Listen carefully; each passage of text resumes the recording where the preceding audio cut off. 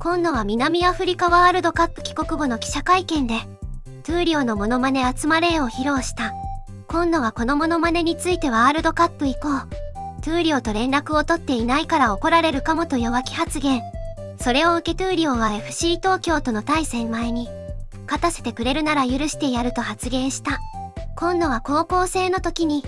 スクワットの計測値が全国トップ3で測定記録は 206kg。今野はどのチームでもいじられキャラで、代表時代は雪合戦の標的にされた。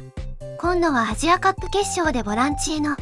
ポジションチェンジを指示された際に無理と返答した。今野のサッカー以外の特技は、